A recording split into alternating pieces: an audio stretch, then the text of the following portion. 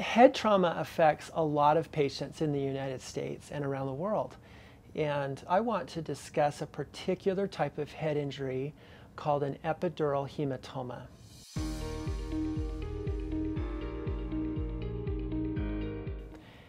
Epidural hematomas are blood clots that form for one reason or another on the inside of the skull but outside of the covering of the brain.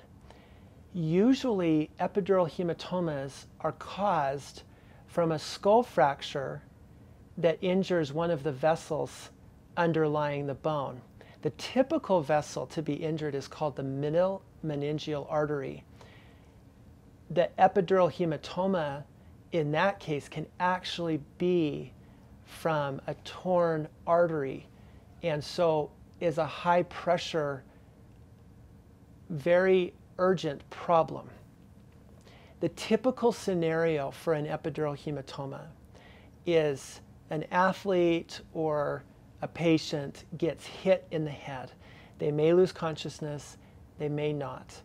And then there's this period called a lucid interval where they're dazed initially, maybe they lose consciousness, but then they seem to be okay. Then the patient starts to decline.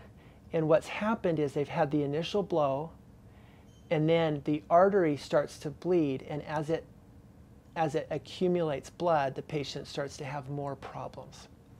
The most significant thing about an epidural hematoma is recognizing it.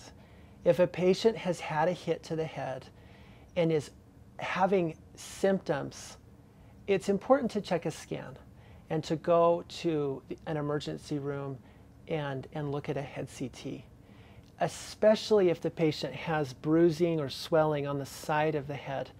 The bone here is really thin, and the middle meningeal artery runs underneath the bone on the side of the head, and that's the typical location for this to happen.